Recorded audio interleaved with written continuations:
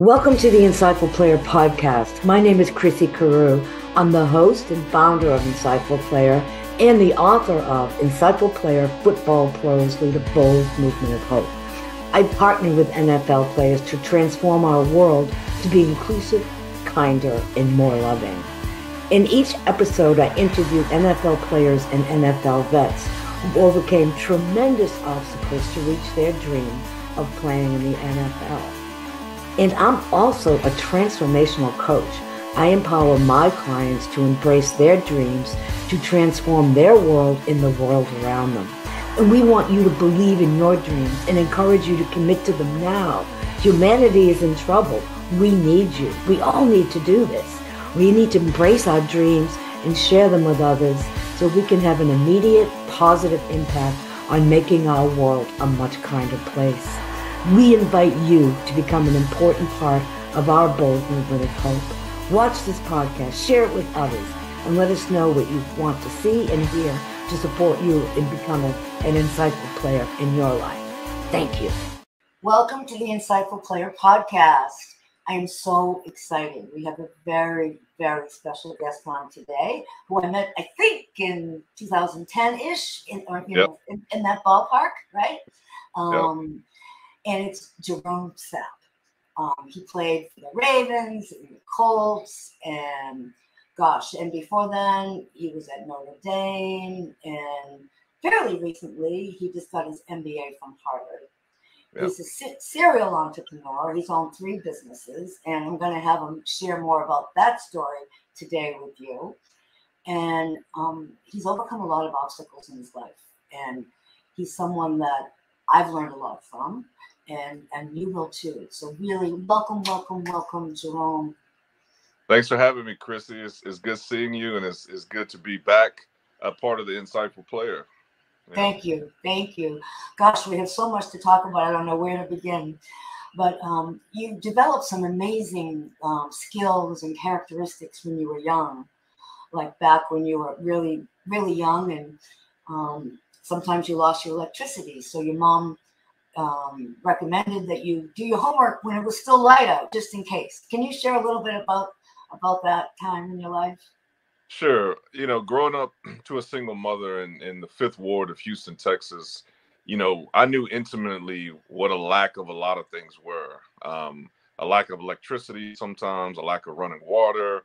Um, but I never had a lack of love and caring from my mother.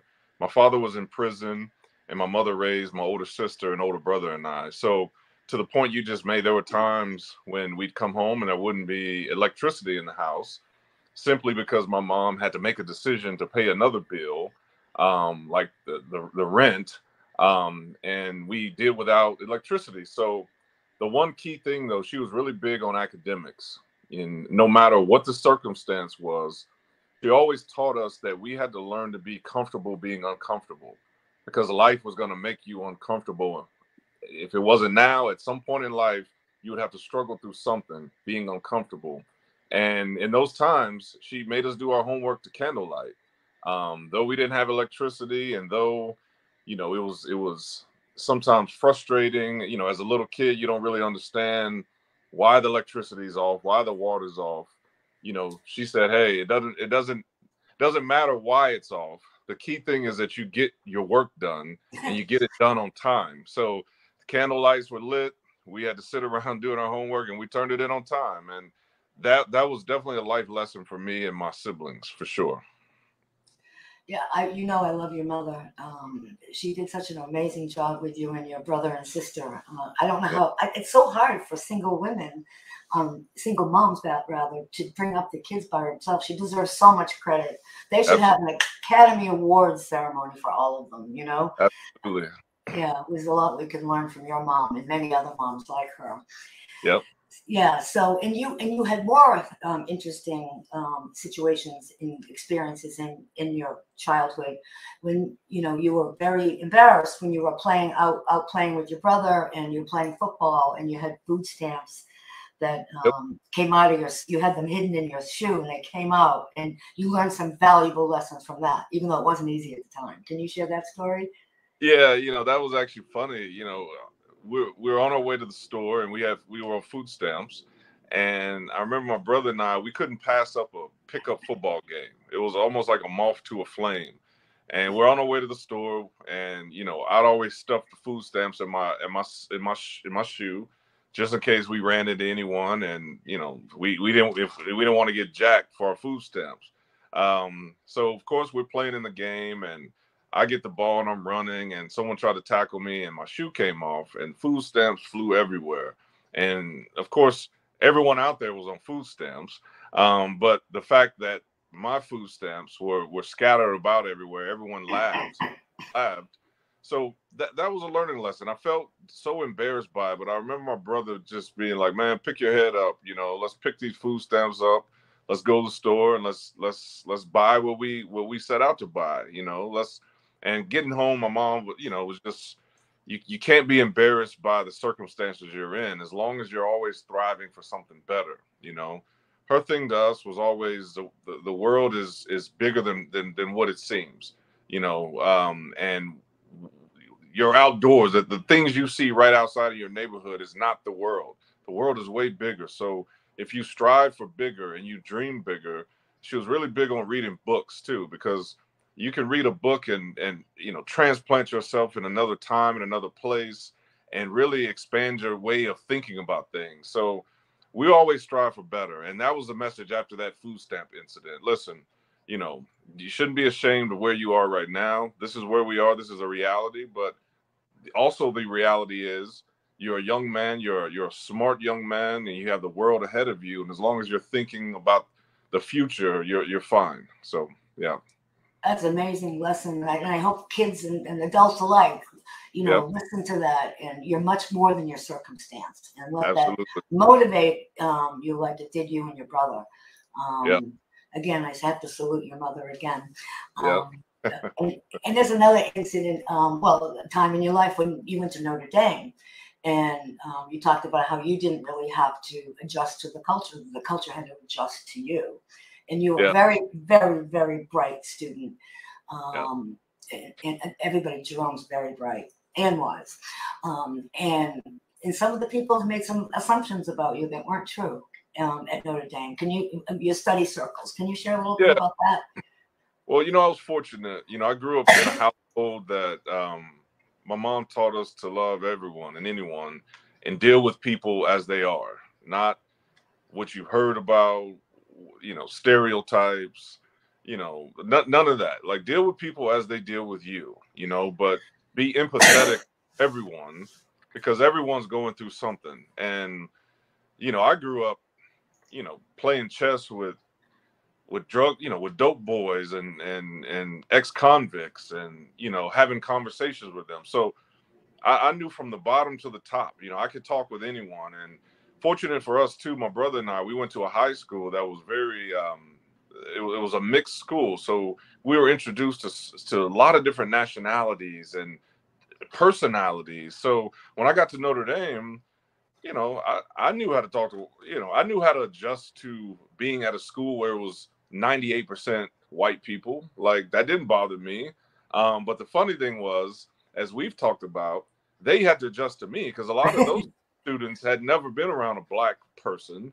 Um, so the funny part, they they they dealt with you from a stereotypical standpoint. Like their interactions with you were based on perceived stereotypes. For example, yeah, I remember they were barbecuing in the quad one time, and one kid was like, "Hey, Gerome, you know you're black, you know how to barbecue, right?" Like, and I remember being like, "Nah, like just put some meat on the grill and light it up, and you're good," you know, like. Um, but the good thing was, I never took never took it personal. You know, um, some of those people I took I took for for example, I took those ignorant moments and use it as a chance to educate some of them. And to this day, a lot of those, well, not a lot of them, some of those students are now some of my good friends. And I think it, was them willing to be open minded and learn that, hey, these stereotypes aren't always true and let me open up my mind and actually take the time to learn something from this guy that I don't know nothing about. Um, and you know, as, as as a result, like I just mentioned, I still have some of those relationships today um, because they took the time and we took the time to actually speak to one another and say, "Hey, man, you you, you probably shouldn't go up to someone and assume this, you know, or assume that. And you know that that's life, though, right? I mean, I, I wish that's kind of a microcosm of the way the world should be, being open-minded to other people. Just because they're different or they believe in something different than you doesn't mean you have to believe in it, but the ability to be open-minded and empathetic to the the the the, the reasons behind they do certain things. So yeah. Uh, that's one of the things that impressed upon me the most when I first met you. How you know you felt judged at uh, Notre Dame, but mm-hmm. you didn't go there, and um, you felt empathy. They didn't know better. They hadn't exposed yep. it, and, um, you you stood strong in, in your confidence, and um, and you and you cared about them and, and because they didn't know better. I mean, I admire yeah. that so much about you. If we could all be more empathetic um, yeah. That's a huge missing right now in our world, isn't it, Gerome? Well, it is. And I think the way I grew up, I should say the way I had to grow up, I had to grow up quick. And there were a lot of times when my mom wasn't around, but she raised us to be independent and strong and learn to make good decisions. That was her biggest thing. You know, she gave us a lot of room to make mistakes, but she also trusted us to make the the right decision too. Um, so when I got up to school, like I was already strong in myself. I knew who I was. Um, and I knew where I came from. And a lot of those kids in Ivy League type schools never had to figure out who they were at a young age and have to stand on that too. Um, so in a funny way, like I looked at them as these insecure individuals that didn't really know who they were to begin with. So how could they really know who I was? You know. So it was an incident where one of my my um, dorm mates had a Confederate flag in their dorm. He was from Mississippi. Oh. And I remember walking by the room and being like, "Yo, like, what's up with the flag, man?" And he was like, "Well, that's my state flag." Like, and I could tell he he literally just went over his head. He literally had no. He didn't even know what I was getting at, type thing. Long story short, two days later, I remember him coming to me like crying and being like, I had no idea this was offensive to you. Um, of course, at that point, he took it down, um, but he apologized. And we sat in my room and talked for maybe 45 minutes about what that flag meant. Um, it was a deeper meaning behind it. But once again, Chrissy, you know, in his credit, he took time to really understand from a point of view that he may not ever could understand. But just because he couldn't understand it didn't make it not valid type thing. Um, and him, him and I are actually friends to this day. So those are the type of interactions as we talked about, the empathy, learning how to look at another person. Um, I don't care how different they are. I don't care what their belief system is. Um, but at least under trying to understand where they're coming from. And like I said, you may not agree with them. You may never agree with them. Um, but if, if you can talk about something and come to a common ground and look at pe- each other as humans and create laws that reflect the world as humans and not just, you know, a statistic or something like that, then I think get some in this world. Yeah.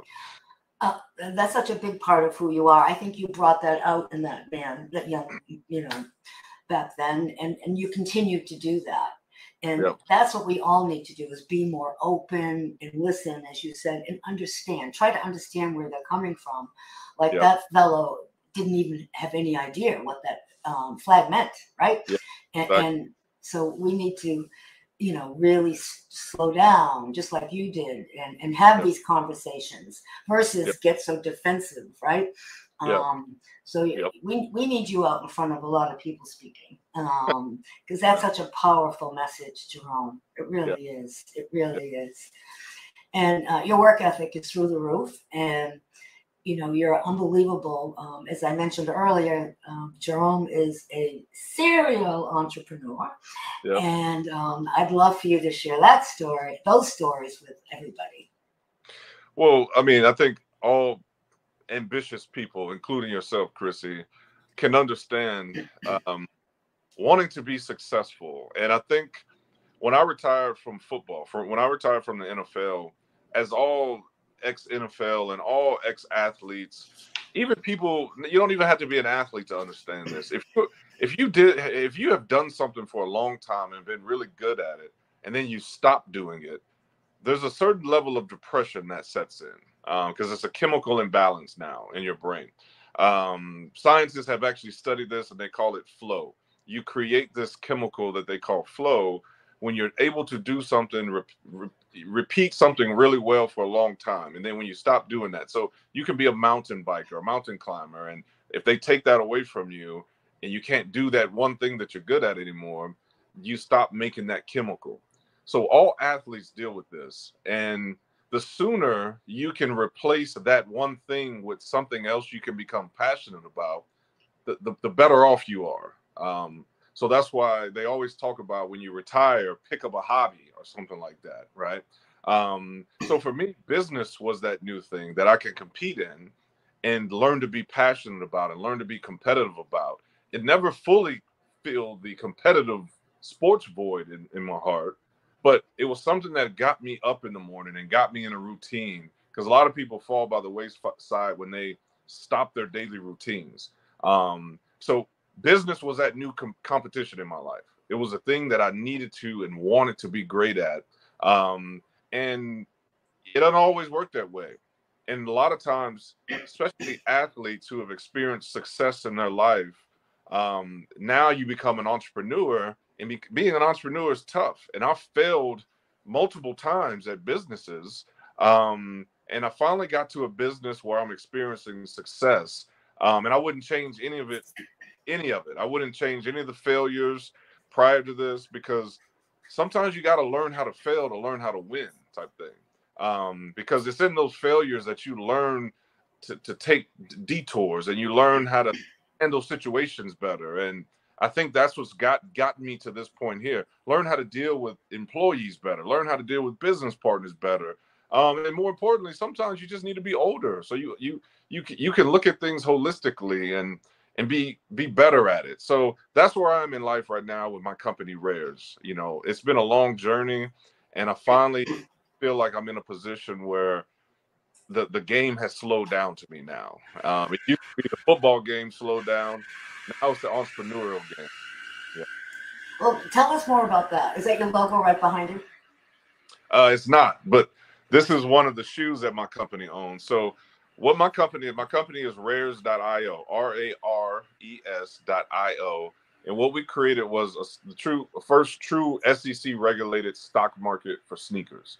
So essentially, we deal with high value, uh, um, and basically the sneakers that we deal with have a high chance of appreciating. So just like people invest in stocks with the hopes that that stock will increase in value um, at a higher rate than the, the price that they invested in it, we allow them to invest in fractional ownership in high value sneakers. In fact, we own the world's most valuable sneaker, um, which was is a 1.8 million dollar sneaker that Whoa. Kanye wore um, at the 2000 Grammy Awards.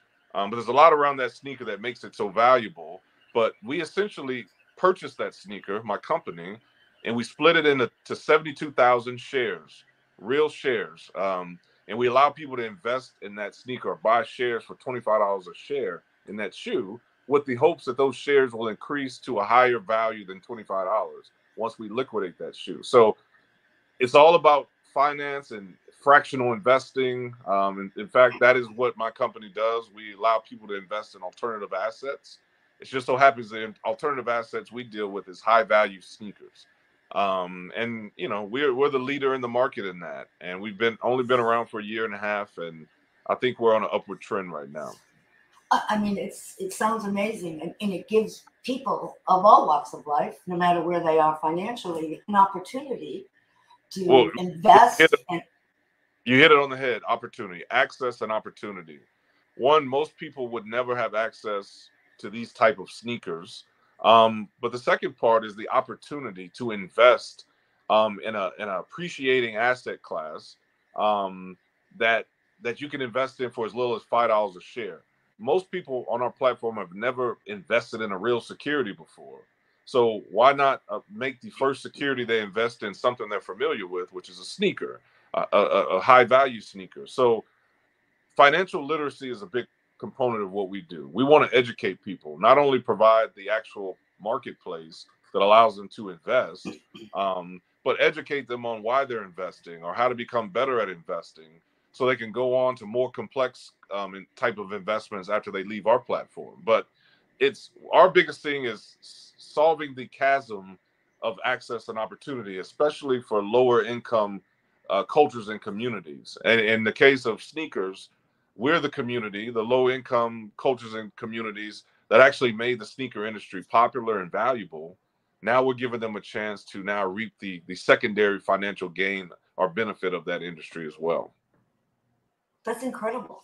I mean, yeah. I mean, and and what gave you the idea? What inspired you? I mean, I think I know, but I want you to share it with our. Oh, well, I've always wanted to be a sneaker. I mean, I, I couldn't afford sneakers growing up. Um, mm-hmm. But actually, when I was at Harvard, I was going to class and someone stepped on a pair of my Jordan 11s. And I remember it was an accident, and I remember wiping them off and thinking, you know, there's got to be a better way to derive value out of these appreciating sneakers because I knew at the time that sneakers, from a, a return on investment standpoint, were outpacing gold, were outpacing the S and P 500, um, and even Apple stock. So if you can somehow create a marketplace and turn these into an actual security, you you had something. Um, so right then I thought about, well, what if you can create a stock market for sneakers? So at the time that wasn't legally possible. Um, so I kind of set on the idea and once it became something that was they changed the, the, laws and regulations around the Jobs Act, this was possible. So now you can turn a sneaker into an actual security and allow people to own fractional ownership in it. And that's what my company did. And we were we were the first for, for sneakers and we're the biggest for sneakers. Yeah. And you've won an award recently, haven't you? Yeah, we were actually nominated for fractional investment platform platform of the year. We're finalists uh, between it's it's my company Rares and two other companies. And the cool thing about that, those other two companies have raised hundreds of millions of dollars, and we haven't raised nearly that much, but yet we're still competing with them because, in my opinion, um, we're very authentic about what we do and the asset class we we do it in. And we touch the culture and we provided a benefit to the culture a real benefit. And we also speak to the culture in layman's terms. We don't speak over people's heads. Um, we meet people where they are um, from an educational standpoint and bring them up to where they want to be. So i think the industry has taken note of that and, and rewarded us um, with this nomination so we're happy about it that's amazing. It's, I mean, I bet it's that much sweeter since other, you know, the other businesses that you struggled with to get where you are today. Yeah, it, it is. It, it really is. Um, but Chrissy, you know me, and like I mentioned, it, everything happens for a reason. You know, um, you may not understand why it's happening in the moment. Um, you know, and that's normal. But when you really think back on your life and you think about moments in life or failures in life, you know, everything had to happen to get to a certain point. Um, and for me, I'm at a point now where I'm able to look back at those failures and and really pinpoint what I've learned from those failures. Because I never let a failure go by without dissecting it and being like, how can I've done how could I've done this better? So if it comes around again, I, I know how to make a better decision this time. And you know, I really took account of those first two companies and I use a lot of those principles um, to, to, to be better at what I'm doing now. Now I'm still in it. You know, we're still raising money and we're still struggling and competing, which I love, which wakes me up in the morning. So we, we, we haven't finished yet, but you know, I, I think I'm better off from those failures than I would that I than I would have been if I didn't fail before. Whew, that's such a, a amazing because um, I know even you know your stories you told me as a child when you were, had an obstacle of any sort, whether it's the, the, the food stamps or whatever, you immediately went inside and said, "Okay, I'm gonna I'm gonna glean some wisdom from this. What can I yep. gain?" And it motivated you intrinsically even more. You yep. know, so that's one message that I would love for everyone uh, watching or listening to really to you know to allow that to do that to not give up when you lose. Yeah. I mean, it propels you to something even greater, don't you think? Yeah, you know, and I and I don't want to be cliche, but you know, Jay Z, the great businessman, the great musician, the great a lot of different things. You know, he said it best. He said the genius thing was we didn't quit. And it's very simplistic, but a lot of people don't understand that most people will quit around you before they get to the finish line. So even if no matter what you're going through, if you weather the storm and you keep going, most people will quit before they get to the end. And all you have to do is finish to be the winner. And I think that's so profound. Like, you know, life is hard. You know, there's there's no there's no sugarcoating that. Life is hard and it's harder for some people. Some people start off harder. But the, the thing is, if you find something you're passionate about, you know, don't stop. As entrepreneurs, we sometimes find ourselves in a dark tunnel and we don't know where the light is, right? Because it's dark, nothing's going right, no one's supporting you. You you feel like you can't support you, and more importantly, you don't know where that which way to go because there's nothing lighting your way. And the one thing that I've always learned is at a certain point you got to light your own tunnel. Everything that's within you, you have to ignite to create that internal light, that combustible light from within you to be the glow to light your way. Because sometimes it's not going to come. No one's going to come to save you sometimes. So, whatever you have, all the experiences you had inside, you have to use that to light your own self out, up from the inside out to glow yourself through that tunnel. And for me, that was something that I needed to do. And it was hard, but I ended up doing that. And I think that's the hardest part is is figuring out a way to light your own tunnel and, and you get just enough light to find that light at the end and now you have your north star so to all the entrepreneurs and all the people listening to this you know sometimes you're closer than you think you are you know you've gone through hell and you know you you're struggling and you're tired and you know you're irritated. But if you keep going if you're really passionate about it and you really believe in it. And if you keep going there will be light. There will be some reward at the end. So that's just a, a, an honest truth about it. Yeah, you're you're a, living example of that, and uh, thank you for sharing that pearl of wisdom and, and pearls, plural. Yeah. Um, because often I've noticed, you know, in coaching that people are inches away from the finish line when they want to give up. You know, they yep. don't realize how close they are. You know. Yep. Yeah. Um, it's tough. It's tough, especially when you've been tough. for a long time. And you know, we talk about it sometimes, Chrissy, especially when you feel like no one's supporting you. And you know, I've been I've been there. You know, uh, with this new venture, I was told no 87 times, and you know, I just filed for bankruptcy from my old venture, and it was like something's got to give here, right? no one was. It was. I felt like no one was listening to me. You know, and I knew I had a good idea, so at a certain point, I said, well, let me stop pitching this to people who aren't receiving it, and let me let me do something myself. And I saved up for two years to to to build a prototype um, because, like I said, I was told no 87 times, and no one understood it because it wasn't there was nothing like it. Um, but the biggest point of that is I didn't quit. I believed in something so much that I was willing to risk everything you know, for it. And and and here I am now with this company. But as a microcosm to everyone, we all have our own passions. We all have our own beliefs in, in something that we enjoy. And if you choose to make a business around it, just don't quit on it, you know. Just don't quit. Wow, 87 times people said no to you. Yeah, it was crazy. yep. That is wild. Well, yep. you're, yep. you're a wonderful example for the rest of us Gerome. And we're going to all talk about your business everywhere, right, everybody? Um, so uh, we'll support you. You'll have to teach us how to do that. Um, thank you. Yeah. Yes. Um, anything else you want to share before you go into your shout, shout out of your dear friend? Um, you know, I, I think you know one of the messages you and I talk about is really everyone being a, a, an insightful player you know, in our own lives, we can all inspire others by what we do and how we do it and how we treat people. So I just want to echo that message that you don't have to be famous, you don't have to be this, you don't have to be that. You can be who you are, but just be the best of who you are. And you know, Chris, as we talked about, lead with love and empathy, right, and honesty, and the world will be a better place. You know, I think so many people want to cut corners or take shortcuts and in taking those shortcuts they're not honest you know they're not 100% genuine with other people and themselves. And i think the world is reflecting that right now whether it be through politics through our daily interactions with people.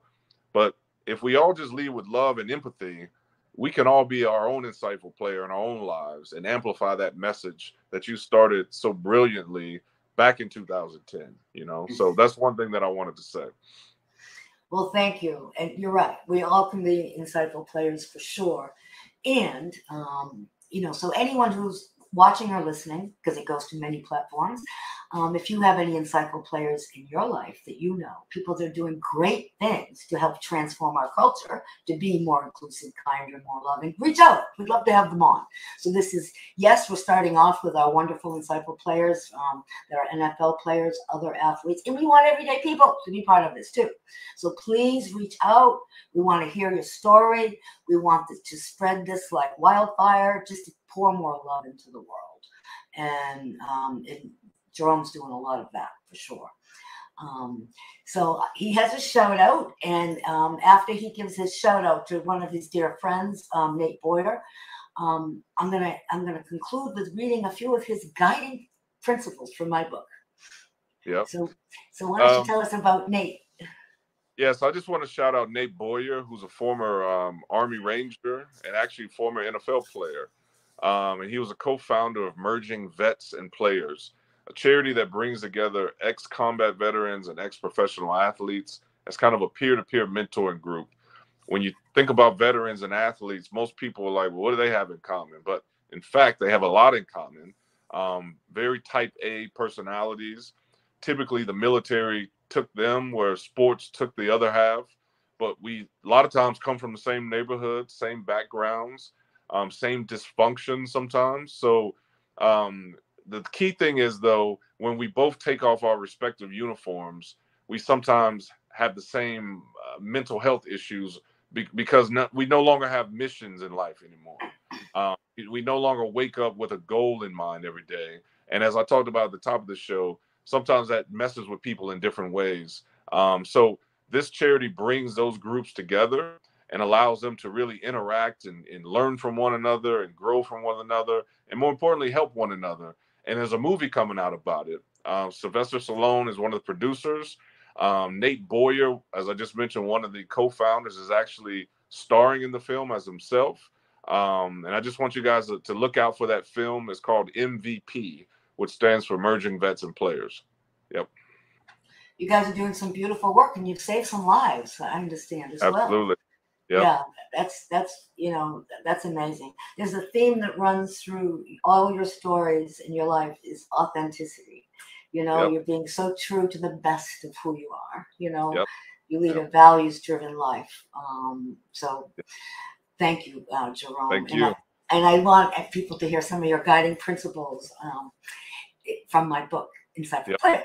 Um, and Gerome talks about use other people's differences as a learning opportunity, as a learning opportunity. I just want to stress that. Find out why they see things the way they do. Get really curious, you know, so you can understand. In fact, go beyond curious, get fascinated, you know, so they can feel heard and valued. And you can get into some uh, very interesting conversations for sure. And, and, don't take ignorant comments from others to heart. You know, um, don't don't judge them. Let that fall off of you. And as Gerome did um, back at at school at Notre Dame, he just to realize they didn't know better. They didn't have the experience. Go out and educate them instead. That's a very powerful message, Gerome. And don't judge others and don't judge yourself too harshly either. Judgment is really a killer, right? It does a number on all of us, you know? Um, so thank you so much. Love having you. Love being reconnected with you, Gerome. You touch my heart very deeply. And thank you, Chrissy. Thanks for thanks for writing the book and having me back on, and you know all the good things that you're doing in the community. I appreciate it. Thank you, and we'll we'll do some more together for sure. So Absolutely. I want to thank thank everybody for watching or listening, and um, go out there and just give out, pour some love into the people in your world, whether it's your family, your neighbors, the grocery clerk, and just notice how it lights them up and even lights you up too. So thank you. Until next time. Bye bye. The entire Insightful Player podcast initiative is dedicated to the late Tom Constantino. Tom Constantino was my PR consultant. He was over the moon fabulous. He was really an exceptional human being. And Insightful Player wouldn't have made it to where it is now if it wasn't for Tom. So, Tom, up there in heaven, I just want you to know you're going to live in my heart forever. And I am forever grateful for you. Thank you.